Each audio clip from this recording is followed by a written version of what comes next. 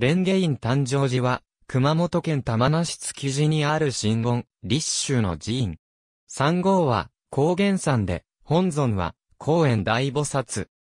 自覚は、別格本山であり、奈良の西大寺を総本山とする。平安時代後期か、鎌倉時代初期に創建され、戦国時代に消失した上皇寺蓮華院の跡地に、公園から霊国を受けた初代住職の河原是神が昭和5年に蓮華院誕生寺として中興した。檀家はなく、信者や一般の人のために祈祷をする祈祷寺である。江戸時代に表された、肥後の地市、肥後国史には、この地に上皇寺蓮華院があったと記載されているので、寺名はここから蓮華院を取り、また本尊公園が誕生した地に中興した寺という意味で、蓮華院誕生寺と称している。注文円門本堂正面50等本院、郵便番号865-0065熊本県、玉名市築地2288億の院、郵便番号865-0065熊本県、玉名市築地1512-77蓮華院、誕生寺は、本院と奥の院の二つの寺院からなる。本院は、玉名市築地にあり、そこから北に 4km の小体山中腹に、奥の院がある。各月13日を五円日、3日、23日を準五円日として、法要が営まれる。法要は僧侶による、理修行の少々と真言宗の大家言行次第を、僧侶と信者が、少々、その後住職の法話が行われる。また、本尊農園大菩薩の入場の日6月13日を大祭と定め、12日の夜は奥の院から本院まで、信者たちが灯籠を持って行列する、劉備下り、ごま祈祷などが行われ、13日早朝に、ご延期法要が営まれる。奥の院では、毎月一度、五十頭で駆読業が行われている。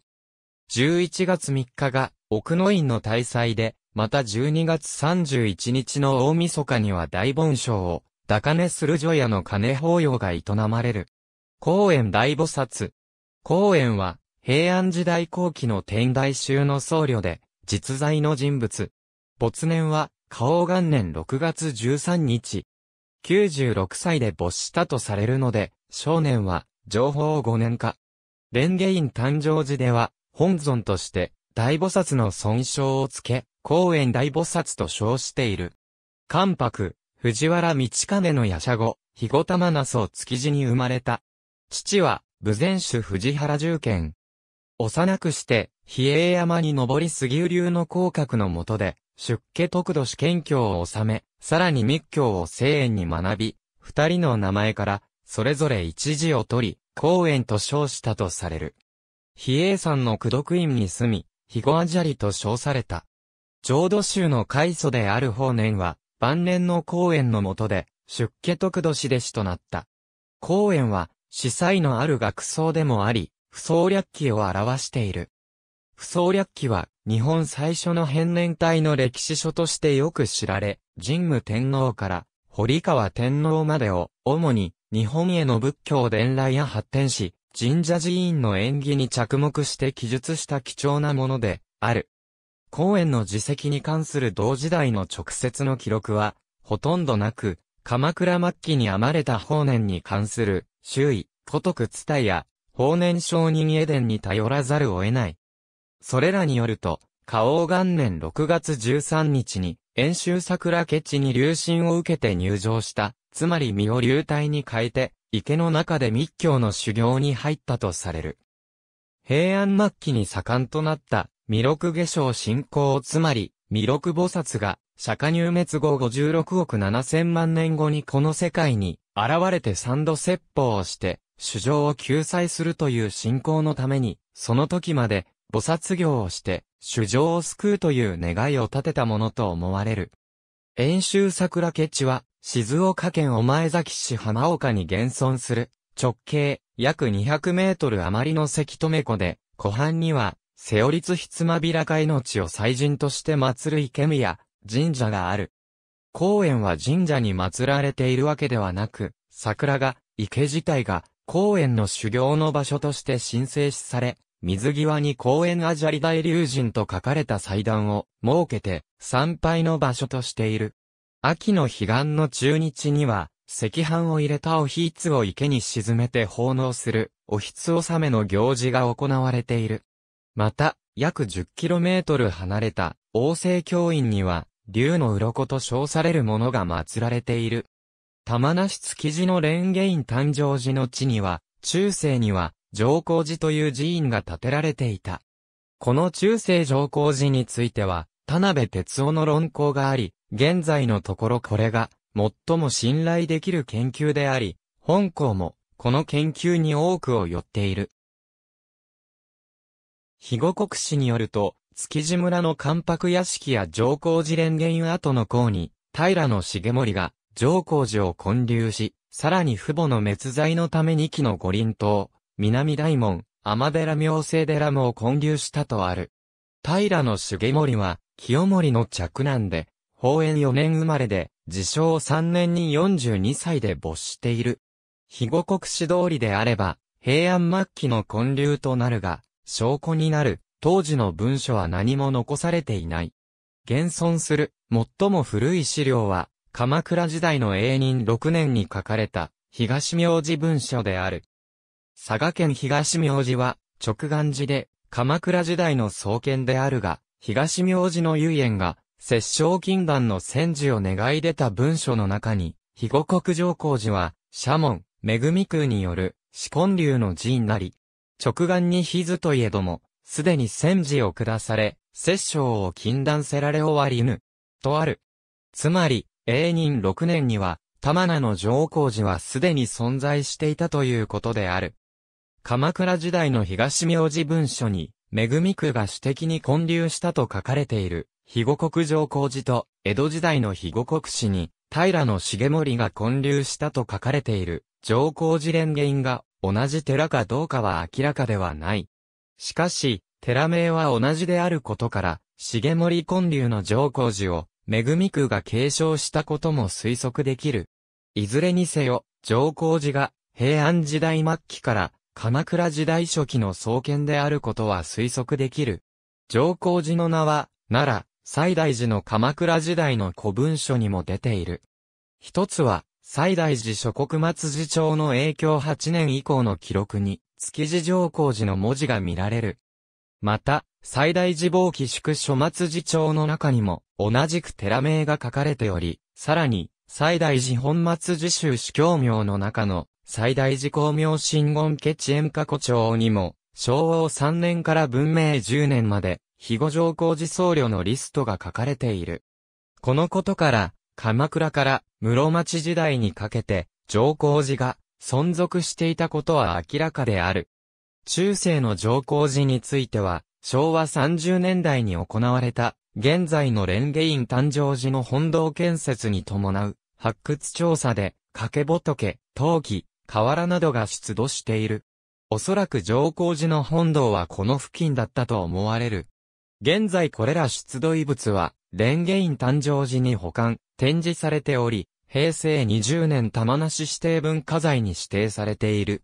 戦国時代になると、激動する戦乱の世となり、上皇寺を取り巻く環境も大きく変わったと思われる。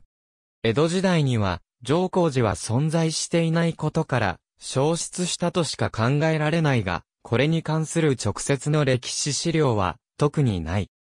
しかし、天正9年、龍造寺聖家が、小四郎親伝に、王の別府200丁を与えていることから、その年に、龍造寺氏の攻撃に遭い、王の死が滅亡し、その庇護にあった上皇寺も消失したとされる。これにより、平安時代末期ないし鎌倉時代初期に創建され400年前後存続してきた上皇寺も怪人に返し、以後は放置され、山野となるに任せ、江戸時代の肥後国史に記される通り、築地、南大門、蓮華などの地名、二期の五輪島、釈迦堂と呼ばれる小道だけが残された。上皇寺の北東隣には、蓮華という微小地名が残り、これは、蓮華院という達中寺院の存在を暗示する。江戸時代の肥後国史には、上皇寺蓮華院と書かれているが、中世文書には、蓮華院という名は出てこないことから、上皇寺と達中寺院の蓮華院を混同して使われたものと思われる。川原正新大僧正銅像昭和4年当時、初代の河原是神は、荒尾で、霊能者として祈祷所を営んでいた。旧上皇寺跡の一帯はその頃は、乾村で、数軒の人家や畑があるだけで、残りは、雑木林や竹林などに覆われた藪になっていたのだが、子供たちが藪に入って遊ぶと腹痛を起こし女性が、中に入ると眼病を患うなど、こうした現象に、村人たちは皇人様がいるとして恐れていた。そこで、村人たちは、絶神の祈祷力を聞きつけて、その祈祷力で地霊を沈めることを依頼した。12月10日、早朝、村人から壊れるままに、絶神が、上皇寺跡地の騒動で度胸をしていると、突然公園から、我は、今より760年前、遠州桜家地に、流神入場せしや砂利公園なり、今心願成就するをもって、何時にその苦毒を、塾、よって、今から蓮華院を再興し主上再度を図れ、との霊告を受けた。その時34歳だったゼシンは、公園という名も桜が、池の存在も知らなかったが、このただならぬ霊告によりすぐさま寺の再興に取り掛かり、翌昭和5年3月には、村人の協力を得て、小さな本堂が建設された。これが、上皇寺蓮華院再興の第一歩で、これ以降、漢樹堂であるアジャリ堂、食堂、男女の三老所などが建てられ、寺院としての形を徐々に整えていった。そして再興された寺の名は、上皇寺とせず、公園の生誕地の寺ということで、蓮華院誕生寺とした。その後、この小さかった本堂は、昭和25年には、大願堂と名付けられた、新本堂に姿を変え、さらにこの大願堂も昭和41年には、RC 作りの本格的本堂として建て替えられて、今日に至っている。このようにゼシンは、公園の霊国に従って、蓮華院の最高に力を注ぎながら、同時にその天才的な霊能、激しい修行、そして、公園の苦読力により、密教行者として、霊力をますます強め、主上祭道を行い、そのため信者は全国に増えていった。昭和52年、第一世のゼシンの死後、第二世には、川原新女が住職に就任した。翌昭和53年11月3日には、ゼシンが発願した奥の院が、招待山中に落慶し、信者のみならず一般の人にも蓮華院の信仰を広めていくこととなった。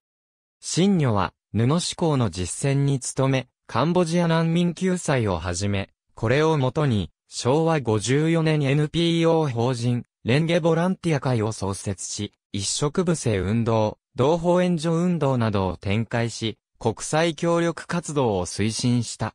またその後、親を大切にする子供を育てる会を設置し、全国の小中学生から母の死を募集し、親子の絆を強める運動を推進した。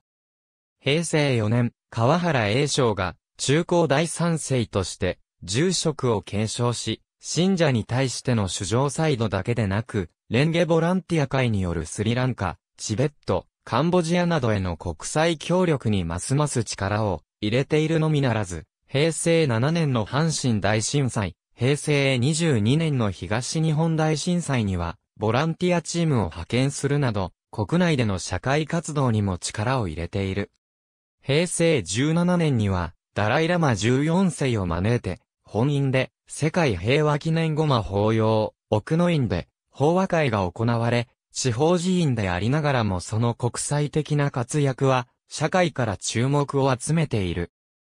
平成28年の熊本地震では寺を挙げて支援活動に邁進。また、全国各地からの支援グループを寺内に受け入れ、熊本県北における支援活動のプラットフォームとしての役割も果たした。多宝島伽藍大日如来建築的には、平成9年に伝統的建築技術で作られた木造の五重塔が落成し、さらに平成23年には南大門が再建され、平成30年には多宝塔が落成するなど、由緒ある寺院として格式を高めている。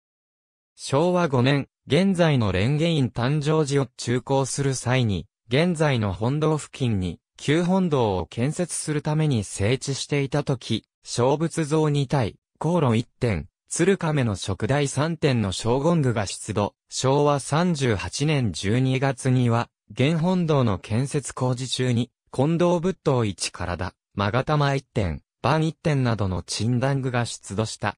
また、昭和34年3月にも布目県丸河原3点、布目県平河原2点が出土している。いずれも鎌倉時代とされる。